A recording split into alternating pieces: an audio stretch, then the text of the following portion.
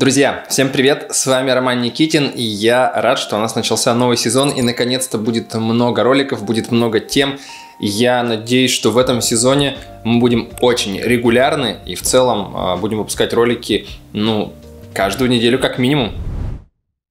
А сегодняшняя тема, которую я хотел бы с вами обсудить, это топ-7 локаций, где нельзя, где вообще в целом нельзя и, конечно же, не стоит открывать свою кофейню. Тема очень важна и, наверное, очень популярная не просто потому, что место решает очень многое, но и в целом это та ошибка, которую новичок в бизнесе, а, особенно в кофейном бизнесе, да и в целом на самом деле в любом бизнесе допускает в первую очередь. Он выбирает не ту локацию. Очень сложно, когда ты выбрал локацию, переместиться через нее, поняв, что она неправильная. Поэтому лучше быть уверенным в том, что это место на 100% ваше место.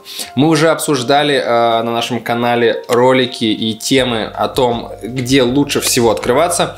Здесь же я хочу пройтись по тому, где вообще никогда не стоит открываться. Номер один – это, наверное, локация на очень тихой улице с отсутствием какого-то любого хаотичного трафика. Скажу очень попсово, и, наверное, вы сами это прекрасно знаете, но кофейня живет на трафике, и если его нет, то, конечно же, денежек нет. К примеру, бар можно открыть э, в любом месте, фактически там, где даже нет локации. Если вы делаете интересный концепт, то на этот концепт плюс, конечно же, маркетинг могут пойти. А с кофейней, если мы говорим о классической кофейне, такого, ну, такого невозможно. В любом случае, есть такая история, когда вы можете сделать что-то абсолютно необычное, неординарное, и на это, да, люди могут пойти, и тут же надо будет добавить, конечно, еще очень сильный маркетинг к этому. Но если, и зачастую у всех кофеин, практически у всех, а, они работают на трафик, нет чего-то такого прям супер сверхординарного, зачем бы хотелось ехать, я не знаю, на другой конец города куда-то а, в какие-нибудь, я не знаю, там подвалы, то э, лучше так не делать. На самом деле даже у нас э, в Ижевске, к примеру, э, очень популярная одна кофейня открыла свое дополнительную точку в очень тихом, уютном дворике, в таком, знаете, где практически нет трафика. И в итоге мы через, несколько, через некоторое время выкупили эту кофейню под наш э, крафтовый бар. К сожалению, неудачная история, но хороший пример. Номер два. Дальше идут у нас старые спальные районы. Наверное, вы с такими знакомы. Низкий процент нашей целевой аудитории, а также очень низкая покупательная способность, конечно же, ни к чему хорошему не приведут в кофейне однозначно. Очень часто люди цепляются за эти помещения, потому что там достаточно дешевая аренда аренда. Но это, конечно же, уловка. Э, какая бы дешевая аренда ни была, зарабатывать там порой очень сложно. Исключение здесь может быть только в том случае, если э, вот этих старых э, районов где-то рядом строятся новые большие ЖК с густой э, населенностью, тогда, конечно же, стоит об этом подумать и не забывать про маркетинг. Номер три – это гипермаркеты и супермаркеты. Я знаю, звучит очень странно, ведь там дикий-дикий трафик, и вам бы казалось, что там все пойдет супер, но на самом деле, к сожалению, э, в большинстве случаев, как говорит наша уже практически 12-летняя практика, нет.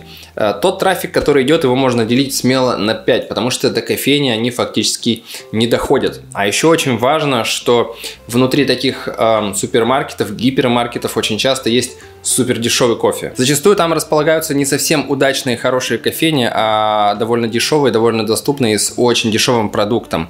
Ну и в целом вы, наверное, сами не вспомните, когда видели что-то хорошее и классное в таких локациях. К тому же сейчас очень много появляется кофеин самообслуживания, которые очень сильно забирают к себе трафик за какие-нибудь там 80-100 рублей, и тяжело, получается, э, понятно, что у них посредственный продукт, понятно, что вы можете готовить гораздо лучше, и у вас будет баристы, у вас будет коннект с гостем, но порой э, сложно именно в этом трафике гипермаркетов и супермаркетов забрать людей к себе. Номер 4 это торговые центры суперэконом и эконом сегмента. Обычно там стоят, э, так же как и в супермаркетах, гипермаркетах, не совсем э, такие так скажем, нашей кофейни, нашей целевой аудитории, плюс там а, все вот в этих венинговых аппаратах, в а, худшем случае это совсем старый венинг, в каких-нибудь пластиковых стаканчиках за 30-40 рублей кофе, а в более адекватном случае это венинг нового поколения, где там 80 рублей, и ты получишь уже а, что-то более-менее похожее на вкус бариста, но опять же не совсем это так. В таких местах, к сожалению, решает не качество приготовленного кофе, а именно целевая аудитория, и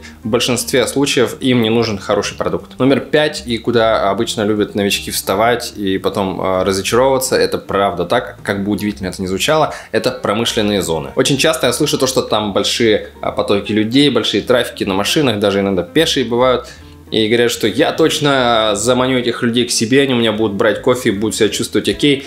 Но на самом деле этим людям наш кофе не нужен. Они не готовы платить за него в целом а, деньги, там больше, не знаю, каких-нибудь 50 рублей. Номер 6 это локации, где уже очень много конкурентов.